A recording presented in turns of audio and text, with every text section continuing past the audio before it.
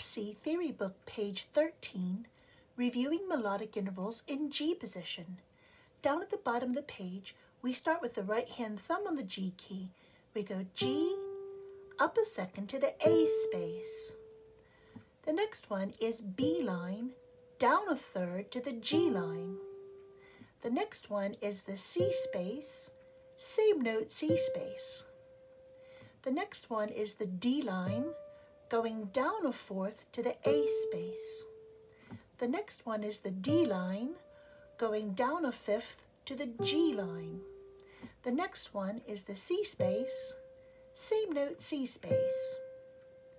Going down to the bass clef line, we start with the fourth finger, A space, down a second to the G line. The next one is the G line, up a third to the B line. The next one is the C space, down a fourth to the G line.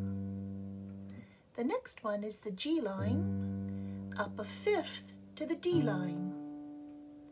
The next one is the D line, down a fifth to the G line.